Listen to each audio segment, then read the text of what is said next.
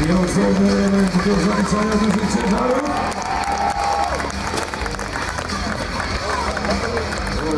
Rzeczy kilka razy w zawodnika. Jest ok.